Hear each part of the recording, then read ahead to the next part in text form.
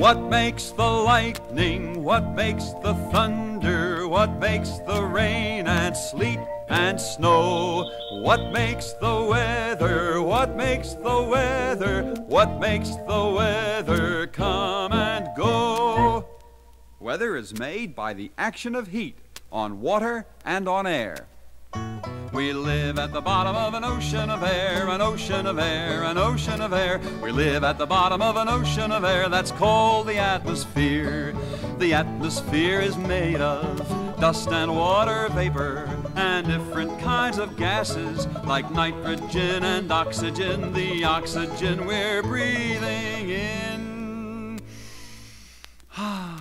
The atmosphere protects us from the burning sunlight. It also makes the weather. The snow and sleet and hail and rain are caused by air, as I'll explain later.